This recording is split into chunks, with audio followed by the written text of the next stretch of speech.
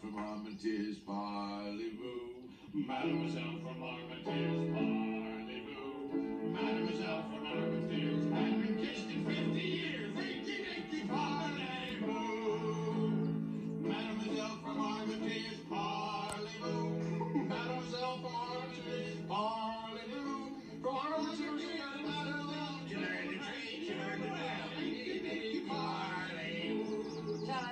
I think maybe heard enough about that particular young lady. Yes, maybe you're right.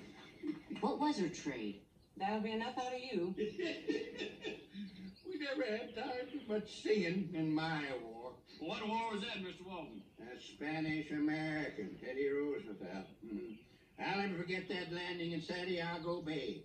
Why, they had to push the horses off and swim through the water to the beach. And the only way we could get them going was to have the bugler stand on the shore and blow, Charge!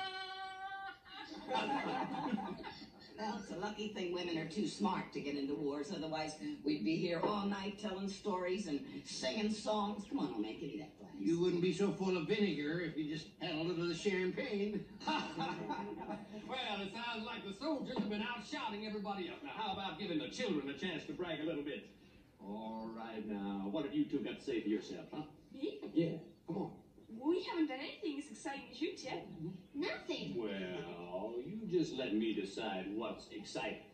Okay. Think of something, I may be back. All right, now, yeah. Uh, you. I'll bet you've had some adventures. I swallowed a tooth.